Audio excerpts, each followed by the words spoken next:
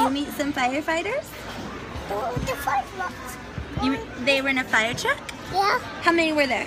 Um, one, two, three. Three, that's right. There were three. And did you say hello to them with Mama?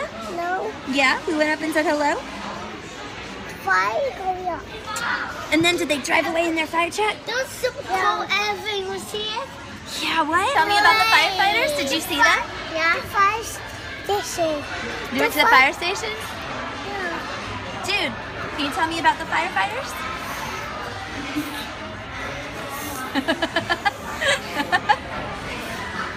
Did you see them? Did you talk to them? Did you go up and talk to them with mom? Did mom talk to them? Remember, if you hold one side the burrito, the other side could come out. So be careful not to spill your beans.